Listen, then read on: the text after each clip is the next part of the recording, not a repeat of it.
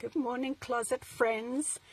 You know, I just wanted to share this quickly with you. I was making my lunch uh, to take to work, and um, it made me think about how much you learn when you travel.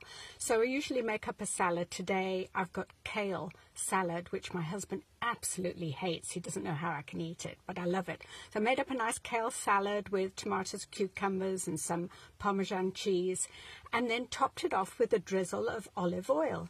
And then I realized how much I love olive oil, but have never really appreciated it until a couple of years ago when I went to an olive oil tasting in Spain.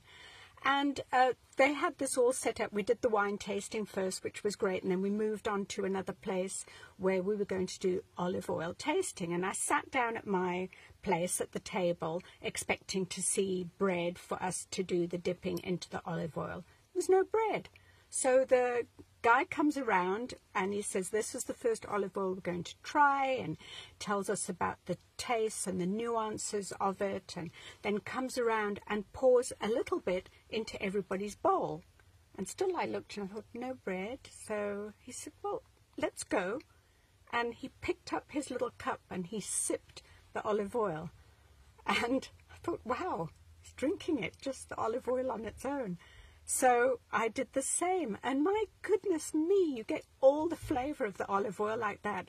Must be a, a really um, uneducated person when it comes to food because I didn't realize that you get the most benefit. You don't want to dull it with the taste of bread.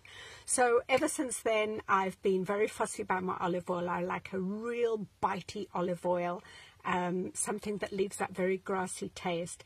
And uh, I've tried it with my granddaughter, and she thinks it's disgusting. So there you go. We all have our own tastes. So here's two new things that we all learn from traveling. Have a great day.